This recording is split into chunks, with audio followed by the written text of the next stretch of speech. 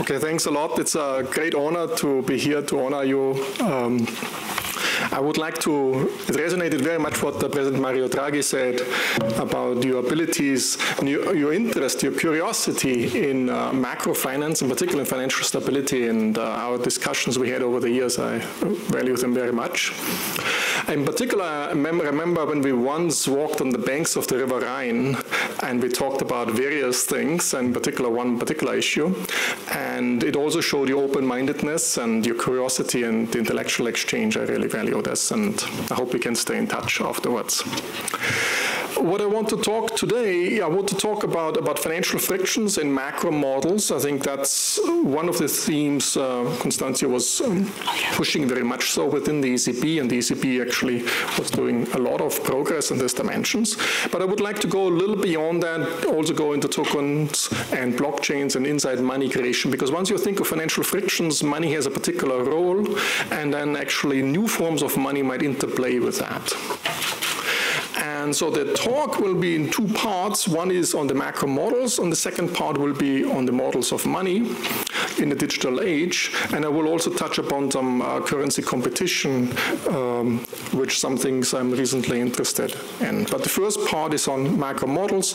And essentially, I would like to say one aspect which came up before is a shift away from impulse response functions much more to a risk dynamics or resilience view of the macroeconomy.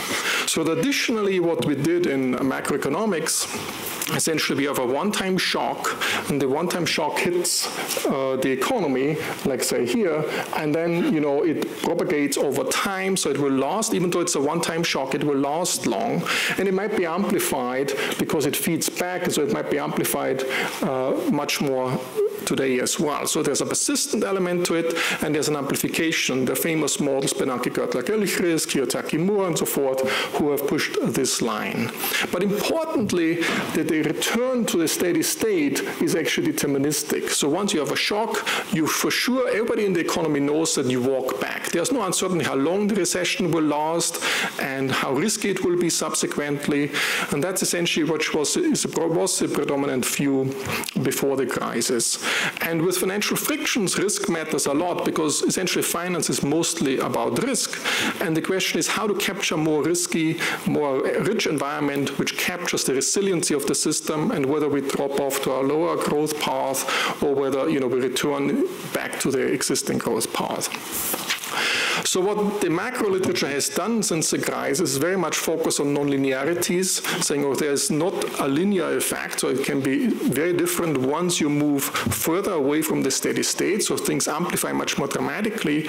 And this, if you put it in a model, even though the shock itself has no fat tails, so it's, uh, let's say, a normally distributed shock, then the outcome in the economy has fat tails because the nonlinearities translate a normal shock into a shock with fat tails. And you get skewness, so downside shocks act very differently from upside shocks. And with financial frictions, that's very natural because a downside shock comes with capital constraints and other liquidity constraints, which amplifies in the downside, but not, might not amplify so much in the upside. So you get skewness in the macro And what I would like to stress is this endogenous volatility dynamics. So the volatility might change dramatically and is time varying. So it's not always the same. Suddenly volatility, we go in a much more volatile environment and things move around. So what I've plotted here is just if you have a state variable, you have a, a drift, which is given by this. So the state variable is is essentially at a steady state at this point because the drift is zero. So it doesn't, here the drift is negative, so it drifts, the system drifts back, and here the uh, drift is positive, it drifts to this, and you end up in this stochastic steady state. But it's never the case that you're in this steady state because the system is constantly shocked, and the volatility itself is also much higher. So in this range, the volatility is just given by the fundamental volatility, but in that range, below the steady state, you have the total volatility because it's the fundamental volatility plus some amplification some endogenous volatility, which makes the total volatility much higher. So new macro will reflect all this stochastic volatility environments and make gives us a much richer environment. And what, what does it mean to have this stochastic volatility? The precautionary motive plays a very important role because if the world becomes more uncertain, people shift into different assets, they behave differently, they save more, and everything feeds back and makes the whole world then again more stochastic. Okay, that's essentially what this does. And two paradox we essentially I would like to emphasize and stress here is the volatility paradox. The volatility paradox says if the current volatility is very low, if you measured volatility is very low, then risk is building up in the background. And be aware that's actually when the times are most risky. So that's essentially low measures of volatility is actually a danger rather than a sign of a great moderation. And the second one is this paradox of prudence, and I will come back to this. Essentially, what's micro-prudent is not necessarily macro-prudent. It, it's most likely macro-imprudent. Okay, that's essentially very close to Keynesian's paradox of thrift, just applied to the risk space rather than the consumption savings space. So that's essentially uh, what I wanted to stress. And the second component, which essentially comes more from the finance literature, which entered a macro, if you focus on traditional macro, if you saw about how the asset prices, how they're affected, how long-term bond prices are affected, they're mostly affected by changes in cash flows. If you change the interest rate, there will be less interest rates down the road. But the recent literature is, is actually shown that actually the stochastic discount factor matters much more. And the stochastic discount factor reflects risk premia. So essentially risk premia matter much more. The news about the confidence and risk premia matter much more than the cash flow news itself. And that's empirically well documented in the failure of the expectations hypothesis. The expectations hypothesis essentially saying that future risk, uh, future uh, interest rate matter for you know understanding long-term bond prices, but empirically what matters is much more the change in the risk premia. The same is true for the uncovered interest rate parity and other puzzles, empirical puzzles, which all point to a time-varying risk premium as a key driver in the macroeconomy. Of course, it makes the whole modeling way more challenging because we have to go away from a stock and a flow analysis much more to a risk and a risk premium analysis, and that's a much more difficult animal to handle, especially if it's moving around, if it's time-varying. So that's essentially the shift in macro models away from stock flow to more risk uh, perspective and a resilience perspective. Then I would like to go, once you go to this risk perspective, you say, oh, the markets are imperfect, the financial markets are imperfect, and then a natural role for money emerges, okay, because uh, you would like to hold some money because there's a risky world out there and hopefully money is less risky and people rush into money. Okay, so there's the traditional models a la Samuelson, the OLG model, which is the traditional way to justify money. But there's also money as a store of value, as a safe asset, where in the Bewley model, you know, money essentially is the way to save in a safe form and you have some idiosyncratic endowment shocks, you have some labor income, suddenly the unemployment uncertainty is much going up, then you would like to save more, and then demand for money is going up. I've worked with Yuli Sannikov on a different type of model. There's also idiosyncratic risk, but idiosyncratic risk comes with investment. So physical capital investments have become much more risky in recessions, and then you would like to shift your portfolio more into risk, less risky money rather than invested in capital. So everybody shifts away from physical capital investments towards much less risky money investments. And then there's, of course, the money as a medium of exchange, and money has uh, lower transaction costs. And that's essentially models of, of outside money where there's no big role for the financial sector. And of course, then what you want to do is you want to create a financial sector which should be core of any macro model, which creates this money inside money, not only the outside money, but also inside money. And banks play a particular role, not only a monitoring role, but also diversifying away some of this idiosyncratic risk you have in, in, in various models. And they can absorb and diversify away idiosyncratic risk. And if the banks undercapitalized, they cannot do this job anymore, and they push idiosyncratic risk back to the households, and that leads to even more money demand. Or banks, they create some inside money, and the inside money, and I will come back to this, might be even better than outside money as a medium of exchange. Okay, and we will come back in future types of money. It might be that you know there might be new forms of money where the banks or IT firms play a more important role. So let me just say to this second idea essentially that if you look back in history, we had different forms of money. There's this uh, Yap stone, which was, you know, the unit of account. It's in fixed supply. It's hard to forge. And you can see one of uh, these uh, outside monies. It's a good unit of account, but it's not a good medium of exchange. You can try it and lift it and see whether you can pass it on to somebody else. So typically what you would like to have here is essentially pass on this medium of exchange um, to, to, somebody else. And if you can't pass it on, what, what you derive claims from this uh, thing. So somebody comes along, I give you a, a, token or a piece of paper, which gives you a claim on this type of stone, and then this piece of paper is traveling around when you make payments. That's essentially creating inside money. And I will come back, new forms of money in form of tokens, electronic tokens will do the same thing.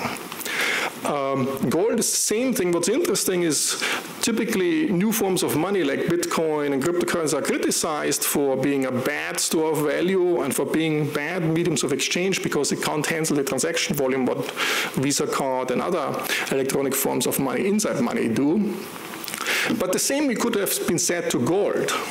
You know, in the olden days, whenever there was a new discovery of a new gold source, suddenly the value of gold changed dramatically, or whenever a new ship came from the new world to the old world, and suddenly the gold supply tripled. So you could have said the volatility was very high. So you could have criticized gold as a good source of outside money as well. And there's this famous paper by Tom Sargent and François Velde saying the big problem is small change. So the problem is essentially if you have gold coins, they're too valuable to pay little things. Okay, and that was a big problem.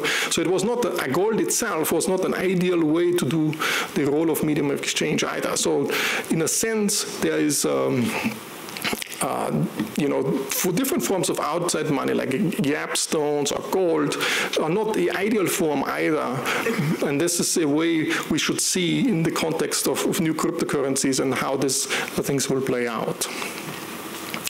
So essentially, we will always end up most likely with a two-tier financial system with fractional reserve uh, banking, and as was mentioned, the Vollgeld uh, Initiative in Switzerland, which will be voted upon on June 10th, is along this line to get rid of this fractional reserve banking.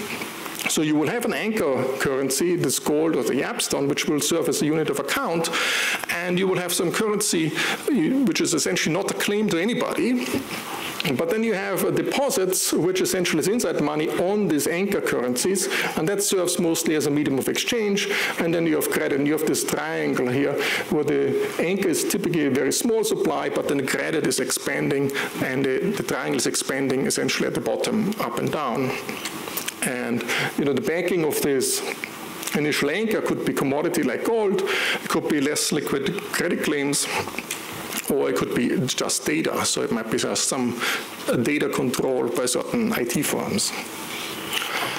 So let me go back to this uh, two-tier financial system and um, emphasize, this is from my work with Yuli Sannikov, essentially how such a, a, fractional reserve banking system is prone to things we have seen and uh, Vítor has experienced uh, during the crisis. So you have essentially banks which have some risky claims, let's say some credit and loans to what to one sector in particular, and uh, this sector is also holding some money, and the bank is issuing inside money. There will be some outside money, let's say in form of reserves, which is held by the banking sector. And let's see what happens if you have a negative shock to one sector in the economy for which the banking sector is very exposed to. So it could be some housing sector or whatever sector it is. And let's dissect the whole shock, the implications of the shock into four steps. So the first step essentially is that, you know, there will be some losses in the assets, but because the banks have exposure to this sector, the banks will suffer too. And of course, they can diversify across uh, these, uh, these sectors. So there will be some average, or some uh, assets will lose more, others will lose less, and the banks diversify across this. But there will be an overall loss if it's a, sector-wide shock or a macroeconomy-wide shock. The banks will suffer, and their net worth is going down. And if these risky claims go down by 5% because of leverage, the net worth will go down by much more than 5%, by 40%. And this way, after that loss, the banks will be way more levered than they are before. And what is the microprudent response to that? The microprudent response to this is to shrink a balance sheet. Okay, so that's what triggers the whole thing. now, if you can just say, let's stop here, and you know the banks keep on doing and they diversify all this idiosyncratic risk from this sector away, things would be fine. But now they shrink the balance sheets and they delever. So essentially, they extend less credit to this, and this extending less credit means this sector has to shrink the balance sheets too, and they have to fire sell some of the assets. And this fire selling of these assets will actually lead to these liquidity spirals and depress the asset price even further, which lowers the asset value of these sector as well, lowers the risky claims, which hurts the banks again. So if there would be a one monopolistic bank, it wouldn't do that. But if they're competing banks, they don't internalize these fire sale externalities, and that's why it translates into more losses for the other banks. And that's where this paradox of prudence comes in. So if you think of every bank on its own is acting micro-prudent. They said, oh, after the shock, I was way more levered. I have to bring back my leverage ratio again.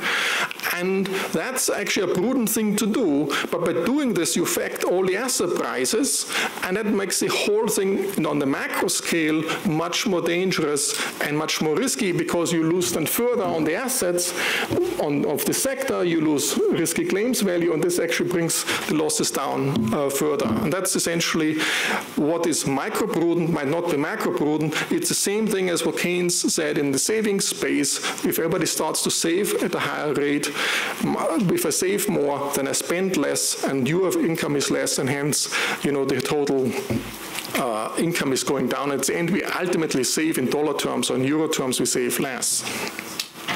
So the interesting thing is also that when the banks delever, not only on the asset side there's this fire sales going on, but they also create less inside money. Okay, when they create less inside money, total money supply shrinks.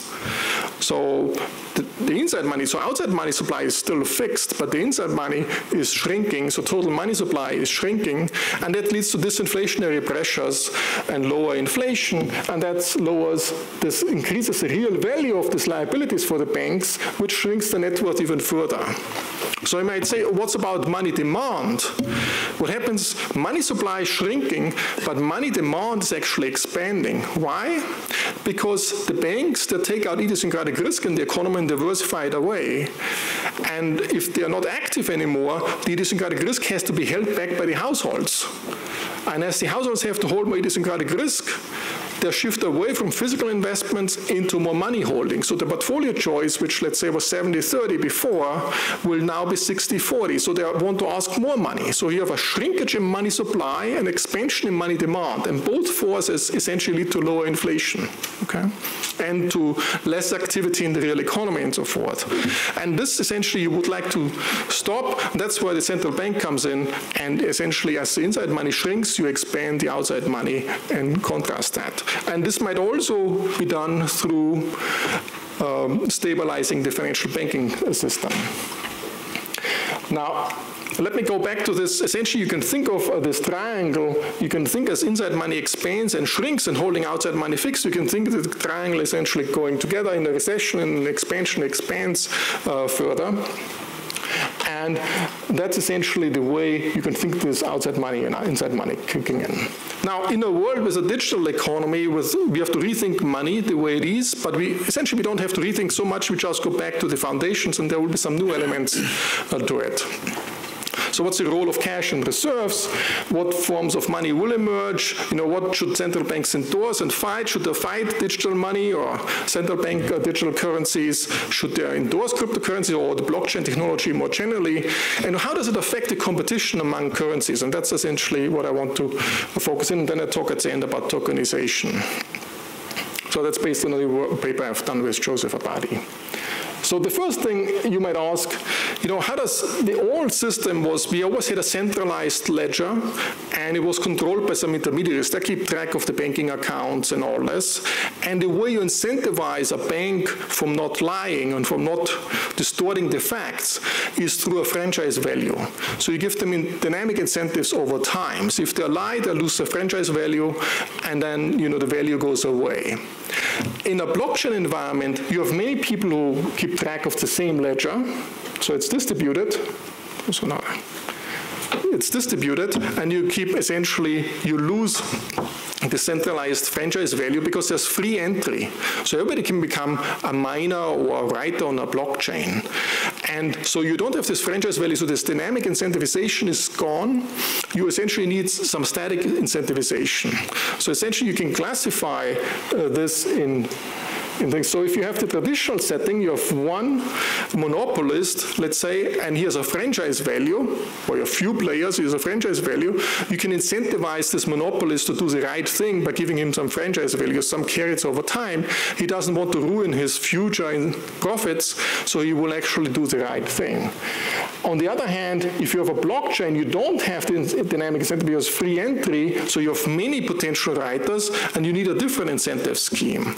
And the way you can characterize blockchain, so the private existing system is very much centralized intermediaries who keep track of things on a, on a ledger or on a central record-keeping device. And blockchains with the public blockchain are down there.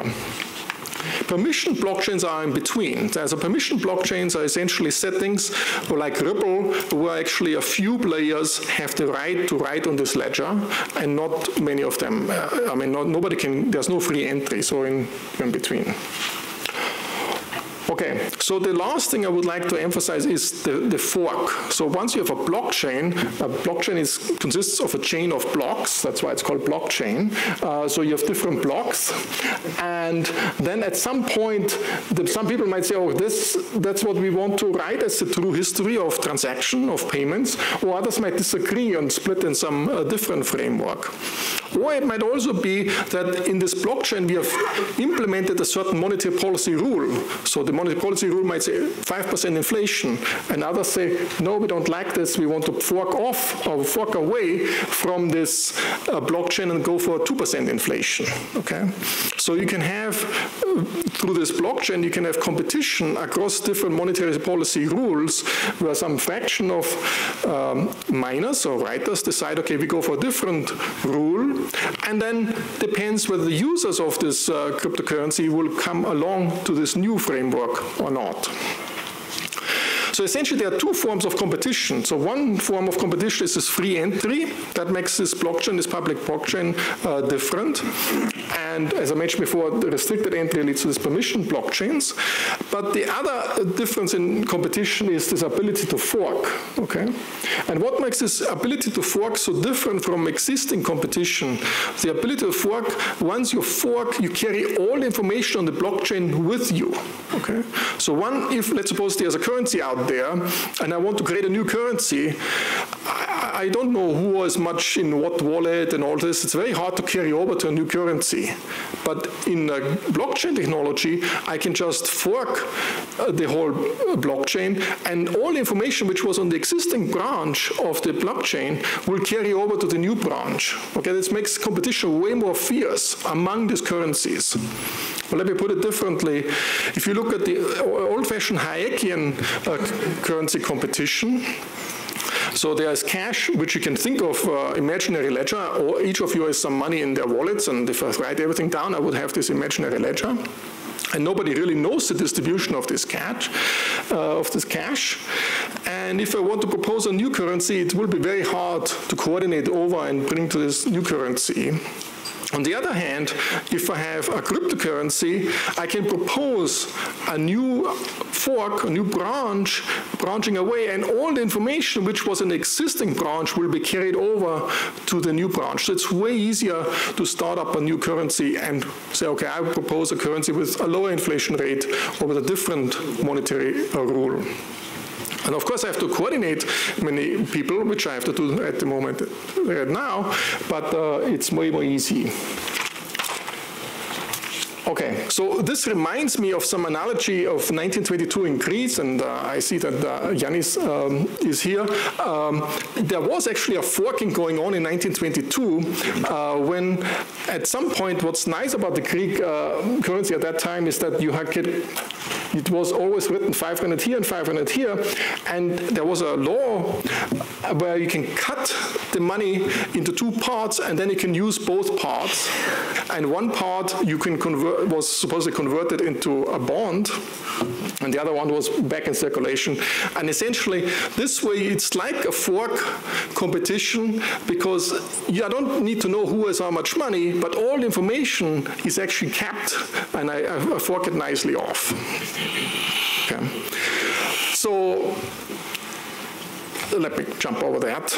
Let me just uh, uh, skip to the final point.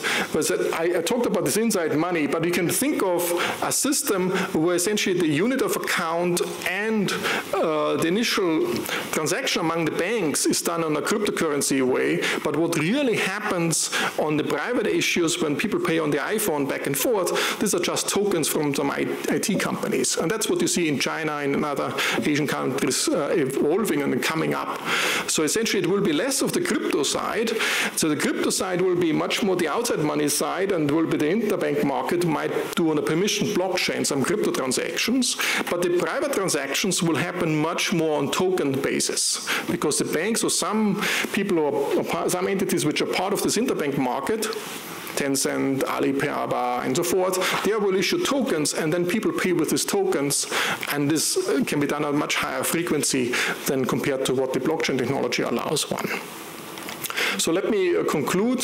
So we have uh, macro models, I think we moved away from this impulse response function world to an endogenous volatility dynamics. Uh, the paradox of prudence, I think, is very important uh, here.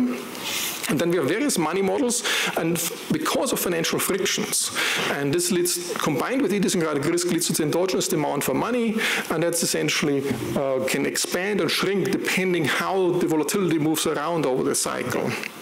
Money in the digital age, we will hear, I think, next and more in the next panel. The traditional way is to have a centralized monopolist ledger. New way is to have these decentralized ledgers. But I think the interesting thing in terms of currency competition is this fork competition, where it, the competition can be much more powerful because it requires much less coordination compared to existing currency uh, competition. So it's way more powerful than an Hayekian uh, competition. And then we will have this tokenization by social media firms and payment firms like Tencent, Alipay, Amazon, and Apple, are, it will be very similar to the free banking era in the 19th century in, in the US. Okay, the inside money will be the tokens, the outside money will be a cryptocurrency potentially, and you know, and perhaps we need some digital money after all because machines will pay, have to pay each other rather than humans. So I stop with this futuristic thought. Thanks again.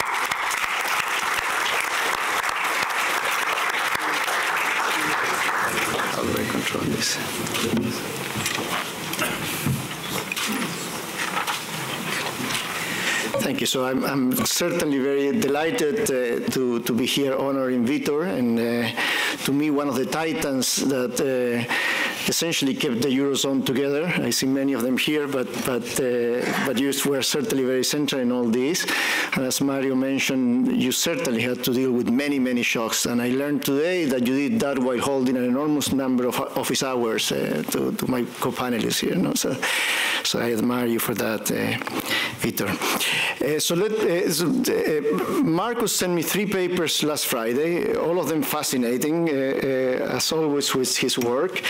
Um, and I invite you to, I recommend that you actually read them. Um, I will focus on, on one of the topics, uh, uh, the one that relates to what he calls, they call the I theory of money.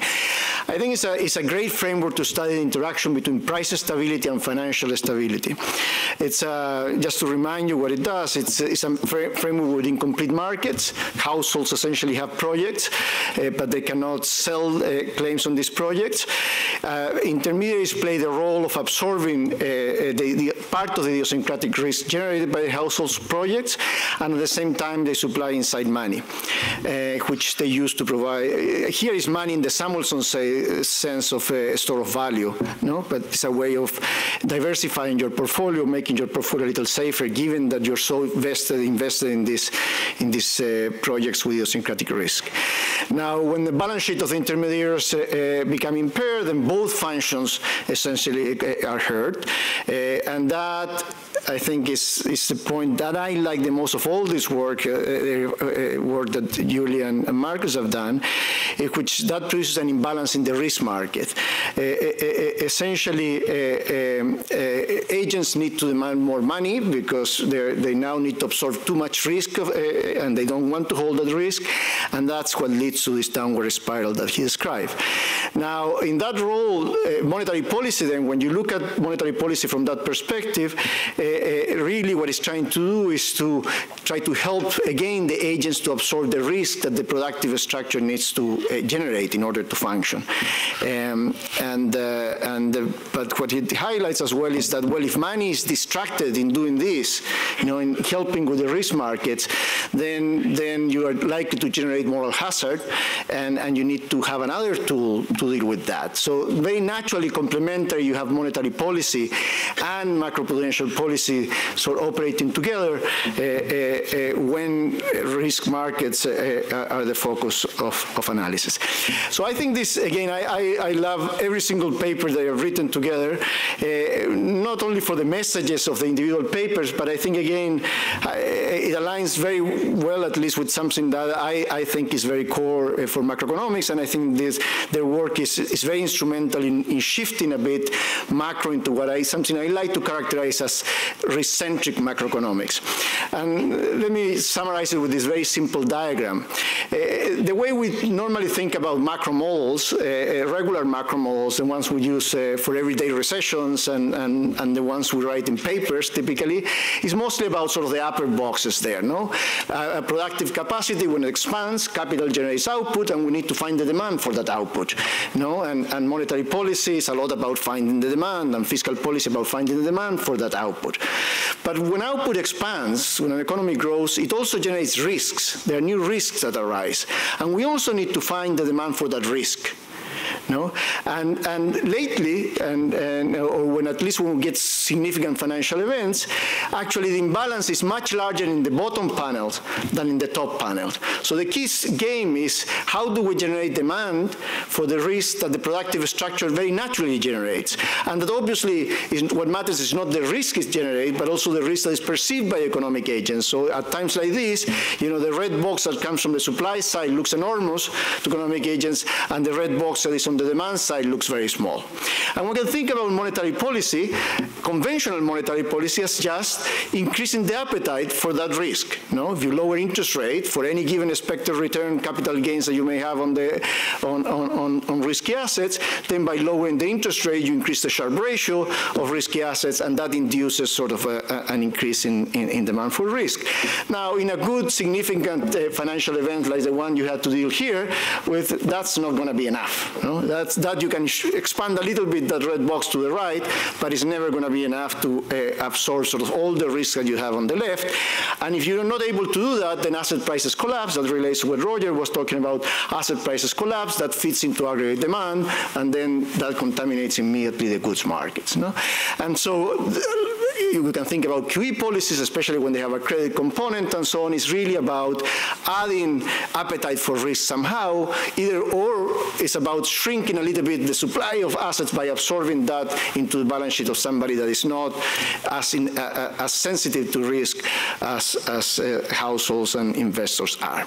So I see their work very much as moving us uh, in the direction of thinking about macro more in these terms. I've done some work, and, and uh, it's easier when you receive the papers very late to talk about your own work uh, along these lines. In fact, I like so much this idea of risk-centric that that's in the title of the paper that Alp Simsek and I wrote recently. And it's really a much more traditional macro model, but with this perspective. You know? So we call it a risk-centric model of aggregate demand recessions, and there too, macroprudential policy will play a very important complementary, complementary role. And the basic idea is very simple. I have no idea how much time you uh, have, so I will tell you the story three times. Five minutes. Words and so on. And so on. But.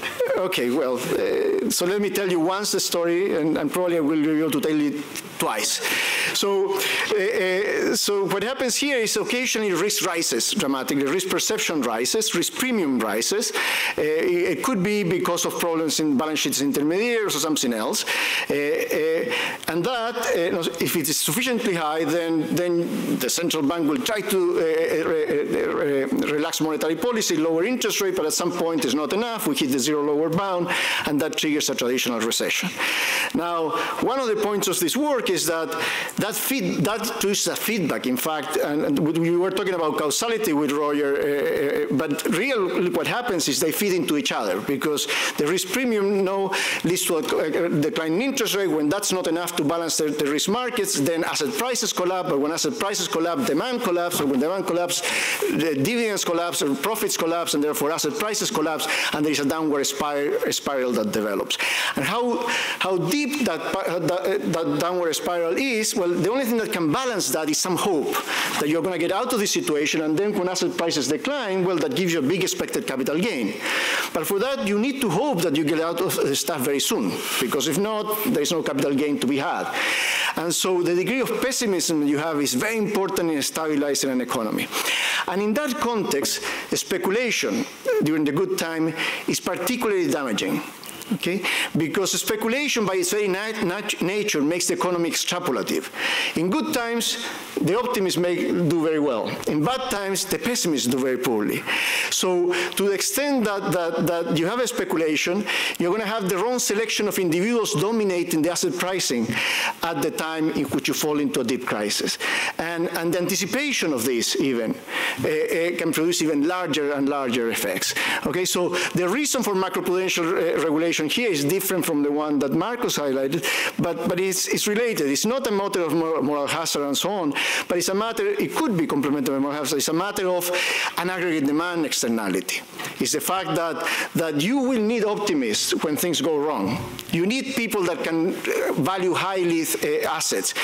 Banks, because they can lever and so on, are those type of agents. Okay, it's not about believing that the world will be better, not necessarily, but it's about agents that can value things highly, and you need some somebody that supports asset markets when things go very wrong because of an aggregate demand externality. This is not a model of a pecuniary externality, it's a model in which there is an aggregate demand externality which you need to offset with, uh, you don't have monetary policy to dilute, that's what triggers the aggregate demand externality.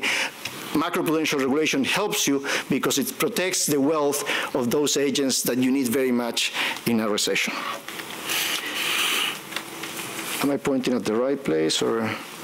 Oh, okay.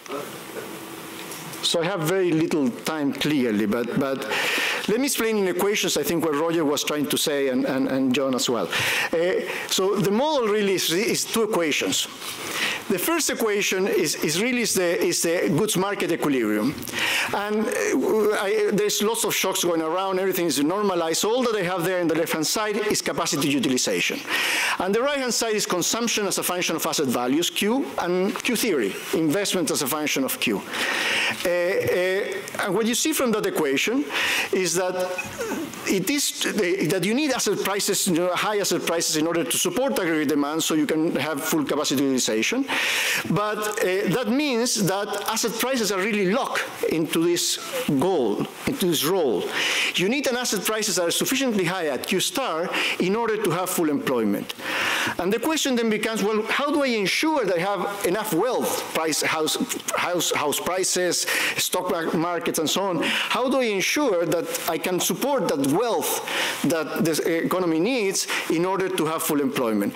Well, for that I need to look at the risk market condition. What is happening in the risk market, in the red box that I had at the bottom? That's what the second equation does.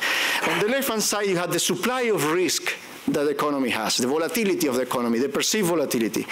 And on the right-hand side is a complicated way of writing the Sharpe ratios, what is a, is a proxy for the demand for risk in the economy. So the issue is, well, suppose that the risk premium rises dramatically, the perception of, of volatility rises. Well, that immediately shifts the, uh, am I pointing at, well, anyways, it shifts the left-hand side up immediately, and it also shifts the right-hand side down because for any expected return, given more risk, there is less demand for that risk. And so the role of monetary policy, as I said earlier on, is really to, I'm having a ball here with this stuff. There's a, there's a lag, talking about PLLs and so on. Uh, in, so, uh, so interest rate policy will try to offset that, but if the, jump in volatility is sufficiently high, it's not enough, and then asset prices will drop, but when asset prices drop there, in order to generate an excess return, no, expected capital gain, but when that happens, that brings down aggregate demand, and you get excess capacity. So here you had two scenarios, one in which there's a low risk premium uh, environment, uh, in which uh, interest rates are positive, and that's enough to ensure the asset prices, the amount of wealth that you need to support full employment, uh, uh, uh interest rates are positive. Another one is a high risk premium state in which the interest rate becomes binding, and then asset prices collapse, that generates a recession and so on. So the only one thing I want to say is that now pessimism matters a lot both for good times and bad times. To be a pessimist in good times means that you think that it's very likely that you may go into this high volatility, high risk premium environment.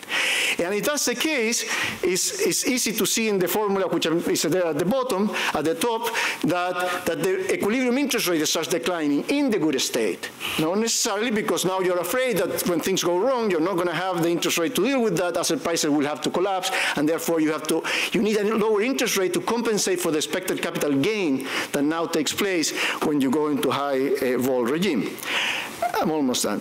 And then in the bad uh, uh, state, well, then pessimism matters a lot because, as I said before, when asset prices falls, if you keep dividends constant, asset prices fall, that immediately generates excess return an, an increase in excess return.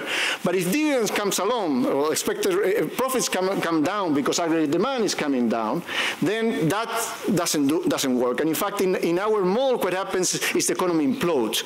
The more asset prices drop, the more profits, demand drops, the more profits drop, the more asset prices drop, and there's no end to that. The economy implodes. The only thing that saves you is optimism. And what is optimism? Optimism is, is say, okay, look, this stuff is going to end in the near future. And if ends in the near future, then a sufficiently large drop in, the, in, in, asset prices gives you enough of a capital gain that that stabilizes the economy. Okay? Uh, I'm done. It's a good conclusion anyway. Huh? Yeah, yeah I'm, I'm, I'm almost done. It's a fantastic conclusion anyway. No? I'm almost done. Optimism will save us. Well, you need enough optimism. That's an economy, you know, that they say you can see how as economy becomes more and more pessimistic, the whole feedback sort of starts going worse and worse. Uh, and I'm not going to be able to say anything about speculation, but the blue line shows for the same level of wealth, of uh, uh, distribution of, of, of level of wealth, for the same level of pessimism, collective pessimism, when you have more speculation, more heterogeneity in beliefs, the drop in asset prices, the feedback is more negative. And that's a reason you need to do macroprudential regulation here. Uh, and you do wonderful things with macroprudential policy. But in any event, so let me, let me conclude here. Uh, uh, so these are both views that I call risk-centric. They have differences, but they have something in common, and that's what I, I want to finish with. Uh, it's a very risk-centric perspective of macro that highlights wealth effects, and I think everyone in the panel has done that. Uh, uh, and, and it, the key question is how does the economy absorb the risk being generated by the productive structure, structure and how to integrate monetary and, and, and macroprudential policies to make that absorption process smoother so it doesn't contaminate the real side of the economy. This is a variety of models now, new models that really think about the world, about macro in these terms. So let me end here. Thank you very much, Ricardo.